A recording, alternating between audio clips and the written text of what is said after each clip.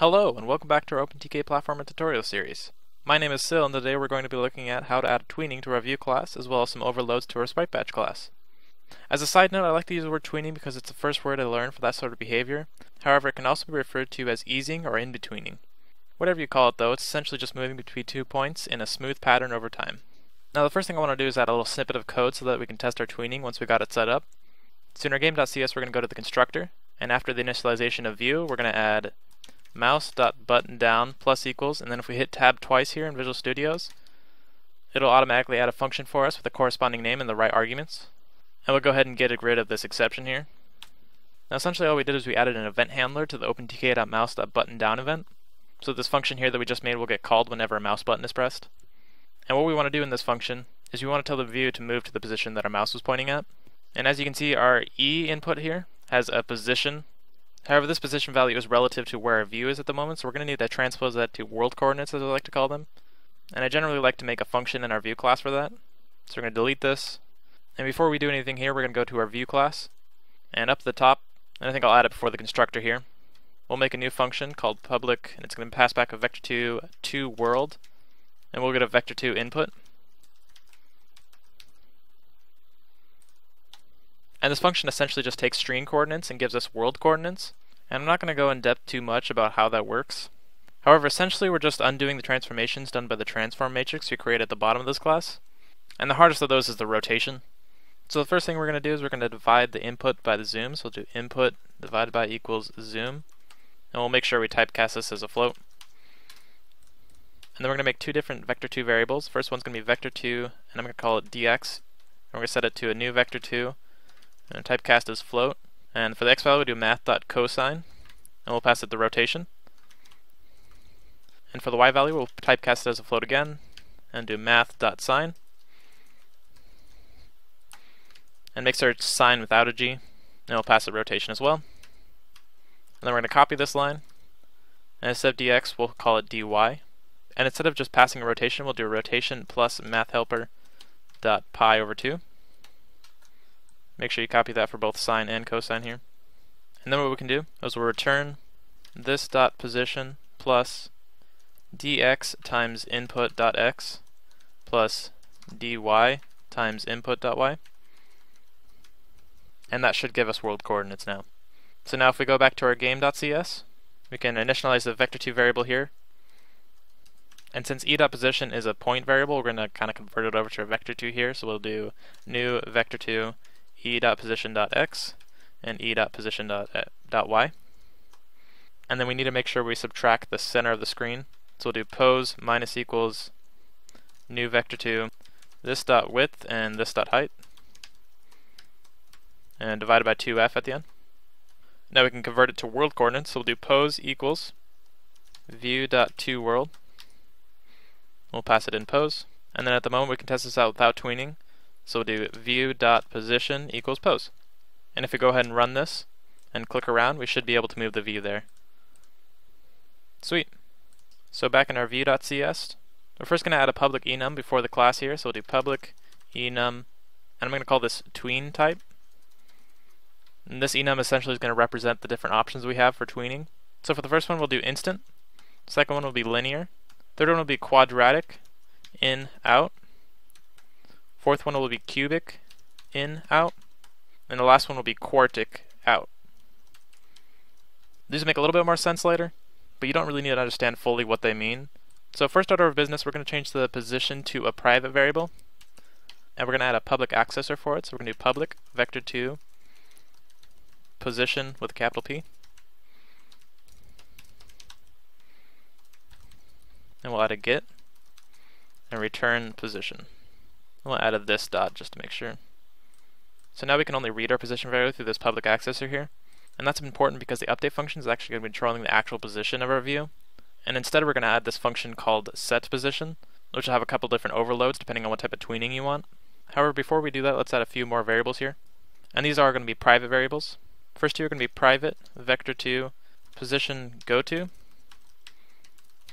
and position from. And we'll also need to add a private variable to hold what type of tweening we're currently doing. So private tween type, I'll just do lowercase tween type. And we also need two private integers, and we'll call them current step and tween steps. And I'll explain these a bit more as we go on, but for now let's go ahead and add that function. I'm going to put it after update here. We're going to do public void set position, and for an input we'll do vector2 new position. And this will be our first overload of the function. This one's just going to instantaneously set the view position without any tweening. So do this dot position equals new position, this dot position from equals new position, and this dot position go to equals new position. And for the tween type, we'll set it equal to tween type dot instant, as well as we'll set the current step to zero and the tween steps to zero. The reason I add this overload is because I still want that functionality just to instantaneously set the position in case I want to control the position of the camera from somewhere else. We'll go ahead and copy this and add another overload. And for inputs we'll do a tween type, type, and we need an integer number of steps. And so instead of tween steps equals 0, we'll do tween steps equals num steps. And then instead of explicitly setting it to in tween type.instant, we'll do tween type equals type. And that's all we really need to do on our set position functions. And now we'll get to a little bit of the meat of the tweening, and that's going to be in our update function. So we're first going to do if current step is less than tween steps. We'll put some stuff there in just a second. We'll do else. If not, we'll go position equals position go to. So if it is less than, then we need to find an in-between position that it needs to be at at the moment, depending on the ratio between current step and tween steps. So we'll add a switch statement here. And we'll switch on the tween type here. So first case is going to be case tween type dot linear, and then we'll copy this case. We'll paste it three times, and change it to quadratic in out, cubic in out, and quartic out. And then make sure before we forget, after the switch statement here, we're going to put current step plus plus and I actually spotted a mistake here in our set position function with the tween type overload. Instead of setting position from to our new position, we actually need to set it to our original position that we're moving from. So we need to cut this and move it up to first. And then instead of new position, we set to the current position before the position is reset to the new position. Now we're going to be making functions for each of these tween types. I'll go ahead and fill out these case statements and then add those functions. So we're going to do position equals position from plus position go to minus position from times get linear. And for the input, we'll typecast it as a float here so that we retain our floating point numbers. And we'll do current step divided by tween steps. Obviously, get linear doesn't exist at the moment, but we're going to create it in just a second. Right now, we're going to copy this line and paste it into our other case statements here. And change them from get linear to something equivalent to what the case is, so get quadratic out. Perfect, now let's go actually make those functions. I'm not going to be explaining too much exactly how these functions work. Essentially, they're just going to be returning a value between 0 and 1 from a value that we passed between 0 and 1. And if you were to graph these as actual functions in math, you'll kind of see a visual representation of how the view is going to be moving. So after our set position functions, I'm going to do public float get linear. And linear 1 is going to be the easiest to understand. As input, we'll need a float t.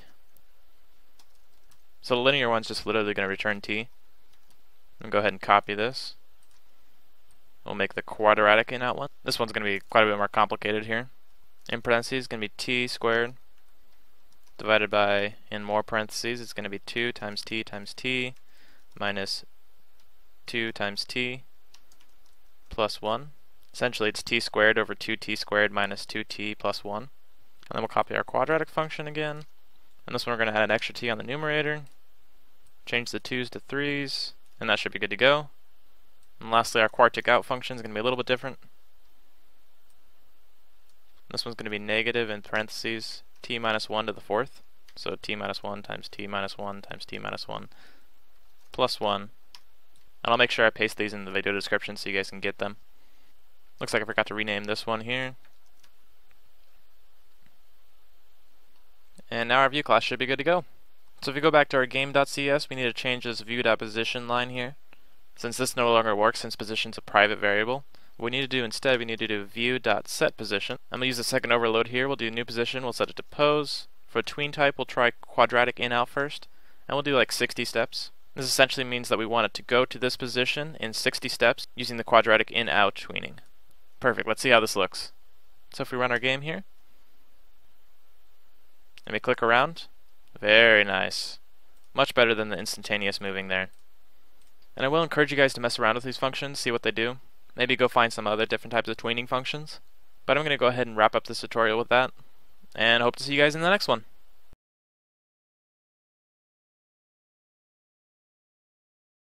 Boing. Boing. Boing.